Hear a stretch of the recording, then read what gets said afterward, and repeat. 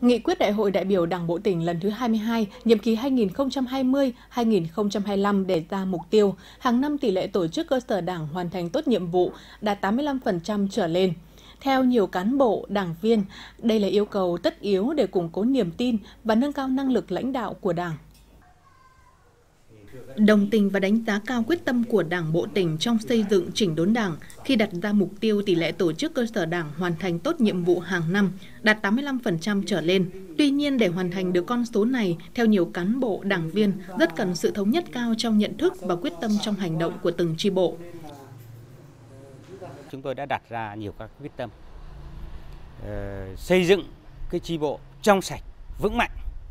thế và các đồng chí ờ, trong chi ủy chi bộ là phải là những cái đồng chí thực sự gương mẫu đi đầu trong mọi công việc để lãnh đạo chi bộ hoàn thành xuất sắc các nhiệm vụ. Trong đó là chỉ đạo các cái tổ chức ban ngành đoàn thể tôi nói là hệ thống chính trị đấy, vào cuộc để thực hiện lãnh đạo chỉ đạo nhân dân phát triển toàn diện kinh tế chính trị an ninh quốc phòng để nhân dân có một cái đời sống ấm no hạnh phúc. Mà đời sống nhân dân ấm no hạnh phúc thì chi bộ vì mạnh để hoàn thành tốt nhiệm vụ, xứng đáng là hạt nhân lãnh đạo ở cơ sở, các cán bộ, đảng viên cho rằng điều quan trọng là mỗi cấp ủy phải khơi dậy và phát huy được trí tuệ, tinh thần đoàn kết, gương mẫu của mỗi đảng viên.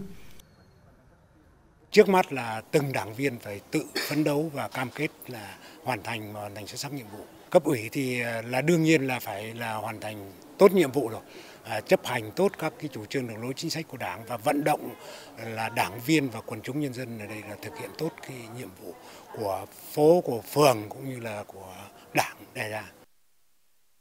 Còn theo đồng chí Nguyễn Văn Tiền, Bí thư tri bộ phố Thanh Bình, thành phố Ninh Bình, sự lãnh đạo của tổ chức đảng không thể tách rời quần chúng nhân dân. Một tri bộ không thể được coi là mạnh, là hoàn thành tốt nhiệm vụ nếu không nhận được sự đồng thuận, ủng hộ của người dân. Vì vậy, con số 85% sẽ hoàn toàn khả thi nếu từng chi bộ và mỗi cấp ủy biết coi trọng và phát huy sức mạnh của nhân dân trong thực hiện các mục tiêu, nhiệm vụ đã đề ra. Là đảng có mạnh hay không mạnh là dựa vào dân. Đấy, lấy dân làm gốc để à, mình làm tiêu chí phấn đấu. Nếu như dân là, là à, tham gia góp ý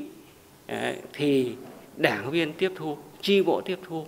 và cái cách tổ chức thực hiện theo ý đảng và lòng dân như thế nào? Đây là cái cách tổ chức. Nó có kết quả. Chương trình trọng tâm đầu tiên mà nghị quyết Đại hội Đảng bộ tỉnh xác định trong nhiệm kỳ này đó chính là tạo chuyển biến mạnh mẽ, rõ nét trong xây dựng Đảng, mà trước hết là từ mỗi tổ chức cơ sở Đảng.